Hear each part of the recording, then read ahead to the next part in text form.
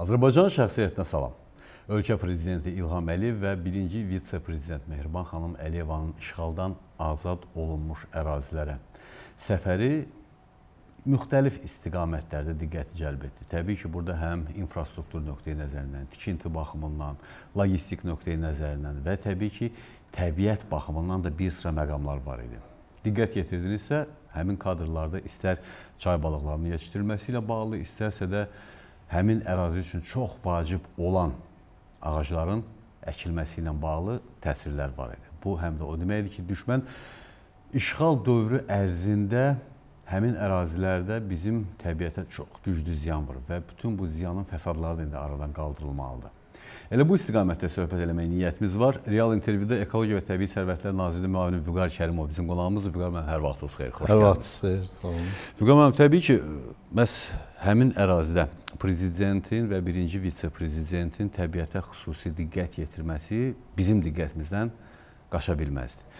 Aydın məsələdir ki, hətta o tərəflərə biz də bir arada ezamiyyətə gedəndə məhz həqiqətən də düşmənin istər ağacları kökündən kəsməsi, istər ümumiyyətlə ekoloji nöqteyi nəzərdən baxanda çox ciddi ziyan vurması biz həmişə görürdük və bunun artıq fəsadlarını aradan qaldırmaq vaxtı gəlib çatıb.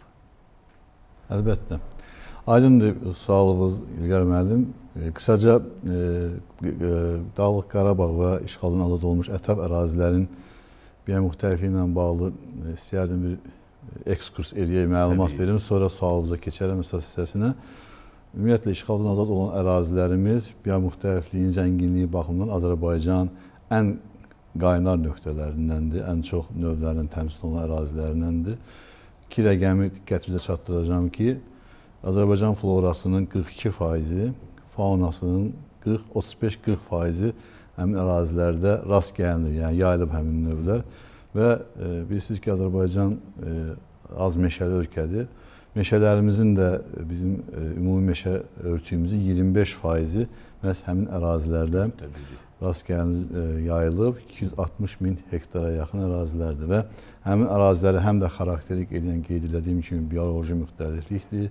Orada endemizm çox yüksəkdir, nadir növlərin e, miqdarı çoxdur və hələ Sovetlər dövründə həmin növlərin qorunma altına alınması və e, nadir növlərin e, mühafizəsi, landşaftın mühafizəsi, biomüxtəlifliyin mühafizəsi məqsədi ilə orada bir neçə xüsusi mühafizə olunan ərazilər salınıb. Bu xüsusi mühafizə olunan ərazilərin ikisi Dövlət Təbiət Qoruğudur, Bəsit çay Dövlət Təbiət Qoruğu və Qaragöl Dövlət Təbiət Qoruğu və 4 yasaqlığımız var orada bizim.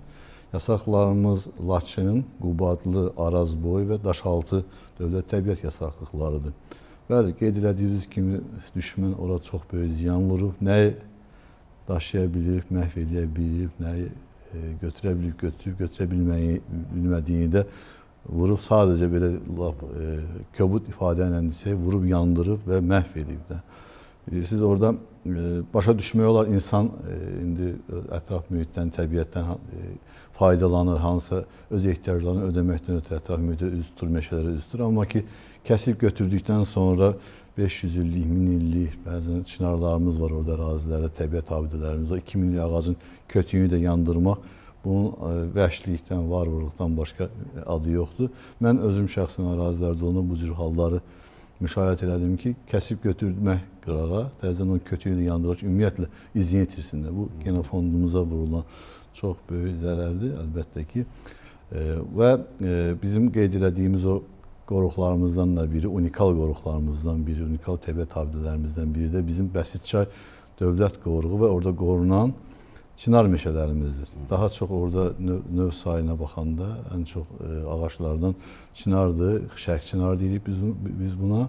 Araz palıdır, bir də Yunan qozu deyirik bizim tanıdığımız adi qoz. Onun təbii meşəlikləri. Demək olar ki, orada ümumi ərazisi e, həmin qoruğumuzun 107 hektardır Vəsiçayın.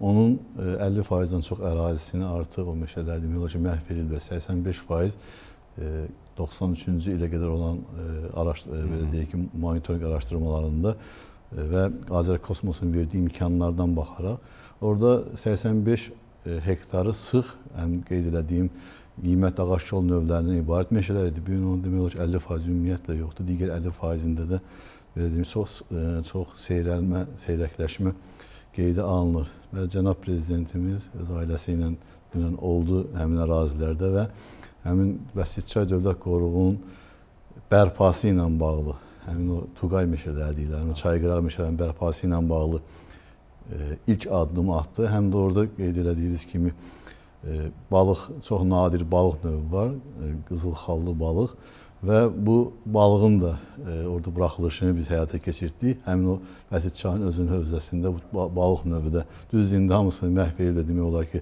çox az-az rast gəlinir balıq.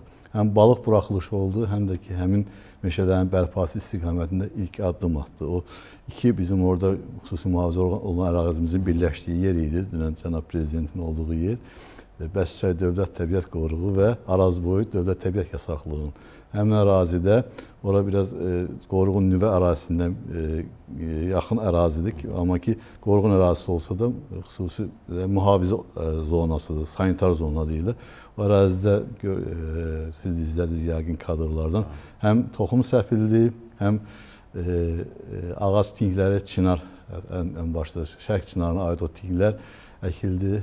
Cənab prezidentimiz xeyir duasını verdi. İlk addım da əlbəttə ki və orada bərpa işləri əlbəttə ki gedəcək. Biz bərpa edəcəyik, amma e, yəni bizim bu əkdiyimiz, indi əkdiyimiz çinarlar, indi səpdiyimiz toxumların 2000 yaşı, 1500 yaşı, 500 yaşı ilgər mən 1500 il, 2000 il olacaq. Yəni o adam çox belə təsirləndirir. Həmin o uzun illər yaşı olan təbiət abidələrimizin məhv edilməsi. Elə dünən cənab prezident də orada olanda çıxışında dedi ki, e, yaşı yüzlü illərlə ölçülən çinar ağacları belə deyək, vəhşicəsinə qırılıb, daşınan, daşınan daşmayan yerində məhv olunub.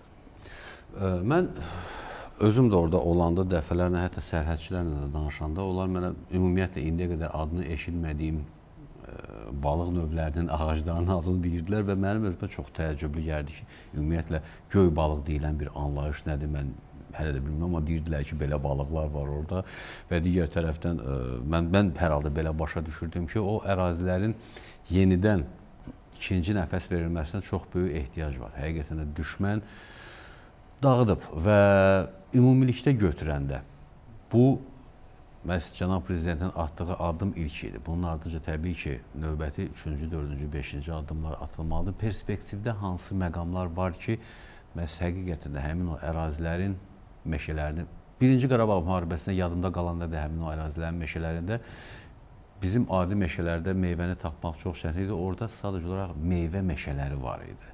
Ac qalmaq mümkün deyildi həmin o meşələrdə.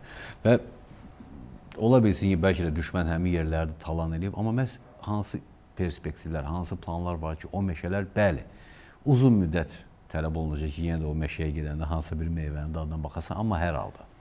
Sualınız aydındır İlqar müəllim. İlkin olaraq əlbəttə ki, ən ilkin atılacaq addımlarımız dəymiş ziyanın qiymətləndirilməsi. Bununla bağlı artıq bir neçə bizim xüsusi mühafizə olan ərazilərimizdə, konkret olaraq Bəsisçay Dövlət Təbiət Qoruğunda, Araz boyu yasaqlıqda və e, Qaşaltı e, Daşaltı üzr istəyirəm, Daşaltı Dövlət Təbiət Yasaqlığında artıq monitorinq işlərinə başlamışıq. Bizi biraz bu işlərdə məhdudlaşdıran imkanlarımız daha çoxdur. Daha tez bu işləri görə bilərik. Amma ki, təhlükəsizliklə bağlı məsələlərdir ki, bizə hara imkan verirlər keçməyə, hara ki artıq təmizlənir, o ərazilərdə biz monitorinq işlərini aparırıq. E, bu dəfələrlə qeyd olunub. İlkin monitorinq nəticələri var bizim əlimizdə. Bu Azərkosmosun bizə təqdim elədiyi şəkillərdir, xəritələrdir. Onlardan istifadə etməklə təqribi də olsa dəymiş ziyanın faizlərlə miqdarını çıxarda bilirik. Amma daha dəqiq rəqəmlər hansını ki biz komissiyaya təqdim etmək, hansı ki aidiyyət üzrə dövlət e, qurumlarına təqdim edərək gələcəkdə təzminat məsələsi qaldırılarsa bu daha dəqiq olmalıdır. Bununla bağlı üç e, qeyd etdiyim xüsusi mühafizə olunan ərazimizdə artıq fəaliyyət başlanılıb. Bu e, aparılan monitorinqlərin nəticələrini biz həm də bir istiqamət bizim üzv olduğumuz beynəlxalq konvensiyalardan beynəlxalq ekspertlərin bura cəlb olunması bizlə bir monitorinqlərdə iştirak etməsi. Digər istiqamətdə də bilirsiniz ki, burada da ikili standartlar çox təəssüf ki var. 30 ildə döymədiyimiz qapı, çıxmadığımız konvensiya, çıxmadığımız beynəlxalq təşkilat ekologiya ilə bağlı olan olmadı ki, biz müraciət edirik, gəlsinlər, baxsınlar orada olan vəziyyəti, orada olan o belə deyək ki, e, məqsədli e, barbarlığı qeydə alsınlar. Orada bir çox məlumatlar belə də əlimizdə var idi. Amma bir bir dənə də olsun beynəlxalq təşkilat ora gəlmədi. Amma əlbəttə ki, biz bununla e, gəlmədilər deyə biz əl çəkməli deyilik, yeni işləməliyik və həmin o beynəlxalq e, konvensiyaların, beynəlxalq təşkilatların ekspertlərinin gəlməsələr onlara təqdim olub, onların razılaşdırmanın çoxlu foto, video faktlarla sübut bunu əlbəttə ki, sübuta gətirməliyik. Bu işlər artıq qeyd etdiyim e, xüsusi mühafizə olunan ərazilərdə aparılır. Bu birinci addımdır. Biz bunu eləməyə cənab prezident də hər bir çıxışında bunu deyir ki, mütləq bunlar hamısı sənədləşməlidir və təzminat davasında çıxanda bizim əlimizdə yetərincə e, sübutlar olmalıdır ki, biz sabah hansısa məhkəmələrdə onları təqdim edə bilək. İkinci mərhələdə sizin dediyiniz mərhələdəki o inşallah Qarabağa böyük qayıdış prosesində həm də həmin ərazilərə, əraziləri bizim infrastruktur, Ekologiya Nazirliyinin infrastrukturlarının artıq bərpası bu əsasən bizim qeyd etdiyimiz bioloji müxtəlifliyi ilə bağlı xüsusi mühafizə olunan ərazilərimizin yeni e, belə deyək çağırışlara uyğun, yeni standartlara uyğun qurulması və orada bizim e, qeyd etdiyim kimi meşə meşə ərazilərimiz var. O meşə ərazilərinin bərpası ilə bağlı böyük işlər görülür. Bilirsiniz, Daşaltıda həmin o dövlət təbiət yasaklığında ən axırıncı elə e, həmin 44 günlük müharibə dövründə də dəfələrlə faktlar oldu ki, ora məqsədli yandırıldı. Hə. Ağ fosfor bombalar deyilən, mərmilər deyilən. Onlarla bəli həm torpağı, həm bitkini, hər şeyi, bütün canlıları məhv edib, onların istifadə etməklə yandırdılar, talan edildilər. E, böyük işlərimiz var bizim həm o meşələrin, həm də qeyd etdiyim kimi bu xüsusi mühafizə olunan ərazilərimizin və o kontekstdə həm də biomuxtəlifliyimizin bərpası ilə bağlı böyük işlərimiz var. İnşallah qeyd etdiyim kimi mərhələli olaraq bu ə, e, istiqamətə gedirik. Biz ə, e, artıq orada bir komendanturalar var, müxtəlif ha. yəni formatlarda Ekologiya Nazirliyinin orada artıq qurumları, həmin qurumlar təmsil olunur və artıq bizim Qarabağ ə, e, Qarabağla bağlı Qarabağ ətraf mühit idarəmiz və Qarabağ Meşədə İnkişafı Mərkəzi iki qurumumuz da artıq Onlar var idi bizdə, onların artıq fəaliyyətlərinin orada bərpa olunması ilə bağlı o istiqamət işlərimizi görürük. Qeyd elədim ki, ilkin monitorinq qiymətləndirmə, ikinci orada bizim özümüzün o belə deyək ki, inzibati idarə etmə idarələrimizin formalaşması və onların köməkliyi ilə, onların rəhbərliyi ilə orada dəymiş ziyan qaldırılması istiqamətində görülən işlər. Mən ə, e, Qarabağda istər birinci müharibəni nəzərə tuturam, istərsə də ikincini həmişə diqqətlə orada nəyə fikir vermişəm. Ərazi ilk baxışdan elə də böyük olmasa da, ilk baxışdan deyirəm, amma orada hər rayonun özünün özünə məxsus bir məqamları var idi ki, konkret olaraq bu rayonda bu heyvanlar və bu bitkilər var, digərində bunlar və bunlar var, üçüncüsü də bu, bu. Bu çox maraqlı gəlirdi mənə. Bəlli məsələdir ki, məs birinci Qarabağ müharibəsindən sonra da oranın heyvanat aləmi sanki o da oradan köçmüşdü. Və aydın məsələdir ki, 44 günlük müharibədə də bizim ə, Qarabağda olan heyvanlar oradan qaçıb. Və mənə həm də nə maraqlı gəlir. Qarabağın ərazisi mənim üçün o qədər unikaldır ki, məndə elə təəssürat yaranır ki, ora istənilən heyvan nümunələrini gətirib ora qoysaq, onlar orada sanki arta bilər. İsmaildə misal üçün zuburlarımızın olması mənim üçün çox maraqlı idi və məhz inşallah e, Qarabağın məhz azad olunmuş ərazilərinə yeni hansı bir növlərin gətirilməsi və yaxud mövcud növlərin sayının artırılması, onun özünün də xüsusi gözəlliyi var. Sual aydın İlqar müəllim. Buna reintroduksiya deyirlər. Yəni hansısa bir növ orada olub, hansısa səbəblərdən oradan köçüb, qaçıb və yaxud da ki, həmin ərazidə arealı e, kiçilib, populyasiyası məhv olub müxtəlif səbəblərdən bizim halda müharibə səbəbindən və erməni vandallığı səbəbindən bu işlər baş verib. Bəli, orada həmin o qeyd etdiyim xüsusi mühafizə olunan ərazilərin yaranmasının hər birinin səbəbi var. Bəsçər misalında dedim Çinar və Qoz meşələrinin qorunması. Bizim o ə, e, ə, e, Qaragöl dediyimiz e, təbiət qoruğunun yaranmasının səbəbi həm yüksək dağ landşaftın qorunmasıdır, həm də orada dediyimiz o qızıl xallı balıq e, növün farelin, bəli, çay fareli deyirlər, hə. düz dediniz onu. Onun qorunmasıdır. Hər biri, məsələn, e, Arazboyun e, yasaqlığın salınmasında məqsəd, o e, infrastrukturun yaradılmasında məqsəd orada olan yenə çinar ağaclarıdır, orada e, Araz palıdır, nadir növlərdəndir. Hı şabalıt, vələs, vələs e, yarpaq, azad ağacı deyirlər. Yəni nadir növlərdir. Mən haşiyədə haşiyə çıxım bir e, sizə məlumat verim ki, Qarabağımız həm də özünün endemizmi ilə, yəni elə növlər var ki, ancaq və ancaq ordadır. Əsasən bu bitki növləridir. E, əlbəttə ki, orada bu Şuşa vələsidir, Qarabağ tülpanıdır, Qarabağ, Qarabağ güləvəridir, Saxsağan gül xətmisidir, Şuşa xaşasıdır, Şuşa Gəvəndi. Bu növlər ancaq hə, bu növlər ancaq gül xətmi eşitməmiş olmaz. Gül xətmini Hə, Şuşa, Qarabağ areallı və yaxud da ki, o ətraf ərazilərdən kənarda heç yerdə rast gəlinmir. Və əlbəttə ki, bizim çox nadir növümüz olan və Şuşamızın emblemi, Qarabağımızın emblemi sayılan xarı bülbülümüz. Yəni bu nadir növlərin qorunması üçün, qorunma altına alınması üçün xüsusi, xüsusi mühafizə olunan ərazilər o vaxtı salınıb. Və əlbəttə ki, bunların oradan köçmüş növlərin indi bitki ya qalıb ya məhv olub, bitkinin ayağı yoxdur getsin, əlbəttə. Amma e, canlılar, heyvanat aləminə baxanda olsun ki, hansısa növlər köçüb. Ora həm də məsələn bizim hamımızın tanıdığı ceyranımızın da arealıdır. O, orada ceyran da tarixən ceyran da olub. Həmin növlərin əraziyə e, yenidən qaytarılması, reintroduksiya olunması istiqamətində işlər görüləcək. Necə ki, siz misal çəkdiniz, Zubur, Zubur elə belə gəlmir. Zubur bizim Böyük Qafqaz dağlarımız, həmin o bizonun, Zuburun tarixi arealı olub, orada yaşayıb, orada onun populyasiyalar olub və indi təzədən bərpa elədik onu. Ceyranı biz e, Ceyran çöldə, Acınahurda biz bərpa edirik. Və o cüzə layihələrimiz əlbəttə ki olacaq və orada çoxlu bizim məsələn Qonur ayı oran, orada məskunlaşan Vaşaqdır.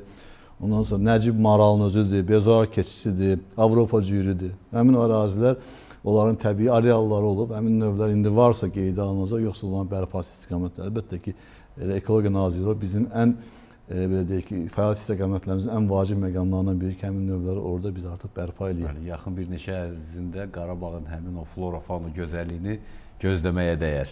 Yəni yaxın aylar yox, illər ərzində. İllər ərzində. Və sizin qeyd etdiyiniz o bizim meşələrimizdə artıq orada bərpa olunan meşələrimizdə bir neçə illərdən sonra yenə gedib orada meyvələri yığa bilərsiniz və orada yenə meyvə ağacları olacaq inşallah. İnşallah. Mən minnətdaram Vüqar müəllim. Çox sağ olun verdiyiniz məlumatlara görə. Uğurlar. Çox sağ olun.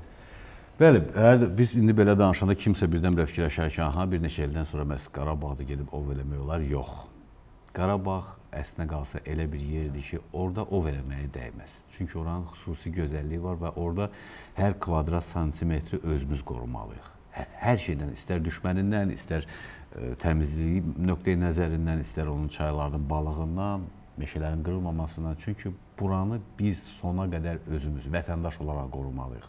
Onda bəli, həqiqətən də növbəti nəsillər bizə çox sağ ol deyə bilərlər. Bizim üçün də ən vacib olan məqam budur. Salamat qalın. Əsasıdır.